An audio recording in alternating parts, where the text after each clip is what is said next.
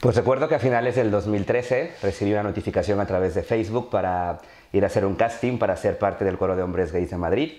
Al principio me dio mucha risa, pero mis compañeros de trabajo me animaron a ir al casting y nada, al final terminé yendo. Y recuerdo muy bien, eh, ese casting estaba muy muy nervioso y de hecho olvidé la letra de la canción, tuve que repetir por segunda vez el casting en ese mismo momento. Nada, al final pues me aceptaron, me dijeron que era parte y nuevo integrante del coro de hombres gays de Madrid. Recuerdo muy muy bien, fue ese primer ensayo donde llegamos todos por primera vez.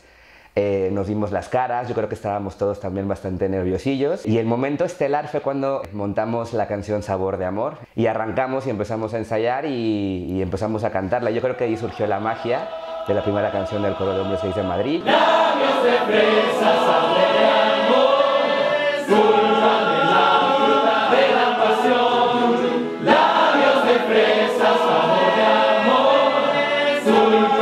El tiempo pasa volando y la verdad es que ha sido una experiencia súper bonita para mí. Es un hobby que yo creo nunca voy a, a dejar y que sigo disfrutando año tras año.